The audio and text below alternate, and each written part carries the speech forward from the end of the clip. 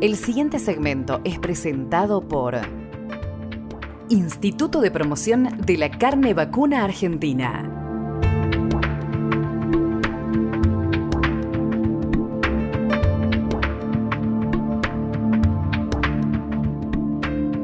Noviembre, así como estos primeros días de diciembre, fue un mes para la recuperación para la humedad en buena parte de la provincia de Córdoba. Solo en ocho departamentos el promedio fue inferior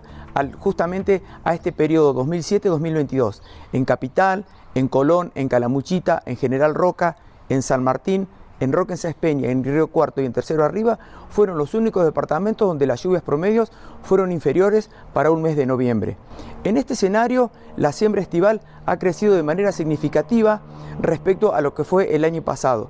Si tenemos en cuenta que en el maíz se van a sembrar alrededor de 3.250.000 hectáreas, es el 1% menos que el año pasado, pero el avance justamente de las siembras es del 19%, lo que significa un 7% más que respecto a la campaña pasada. En el caso de la soja se van a sembrar alrededor de 4.090.000 hectáreas, lo que significa un crecimiento del 1% en la superficie implantada, con un avance del 36%, lo que significa un crecimiento interanual del 66%. Y el maní, que es otro cultivo importante para lo que es la economía de la provincia, se van a sembrar alrededor de 243.000 hectáreas, según lo proyectado por la Bolsa de Cereales de Córdoba, lo que significa un 2% menos que el año pasado, un avance en la siembra del 75% y un incremento del casi el 20% respecto a la campaña pasada. Esto que puede suceder, hay que ver cómo justamente las lluvias en lo que va